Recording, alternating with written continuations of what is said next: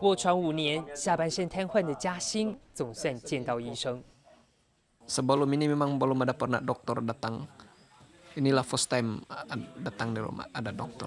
Saya ucapkan terima kasih sama rombongan yang datang ini sebab sudi juga melihat macam masalah saya ini prihatin dan sudi menghulurkan bantuan. 他其实是需要复健，然后再继续在医院接受治疗，然后。 师姐、师兄们，他们应该会安排把他接送到医院。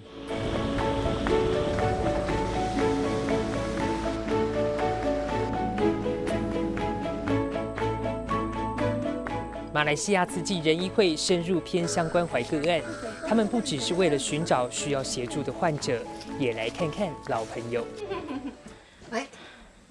之前那个婆婆都会躺在床上啊，不要动，而且他们之前都是搬到那个厨房去睡觉了。那个婆婆因为方便她上厕所，所以我们来的时候都会去后面那个地方看她。哎，今天她竟然有精神，说要到前面来。一穷二白的贫户也试着效法志工精神，用铜板行善，希望医护团队能够照顾更多弱势。